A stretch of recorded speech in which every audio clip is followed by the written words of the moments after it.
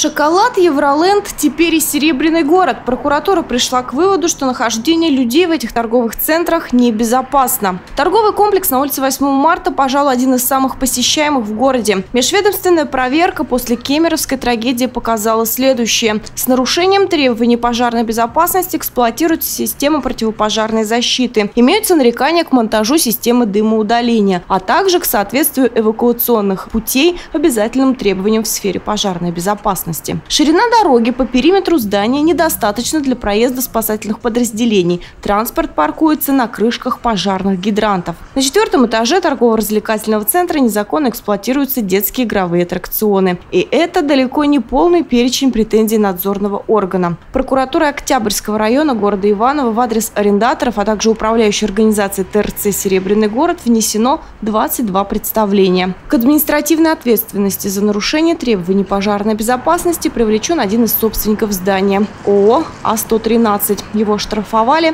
на 150 тысяч рублей.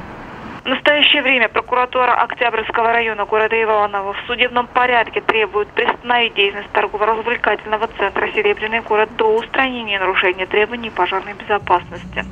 Соответствующее исковое заявление подано прокуратурой района в Октябрьский районный суд города Иваново.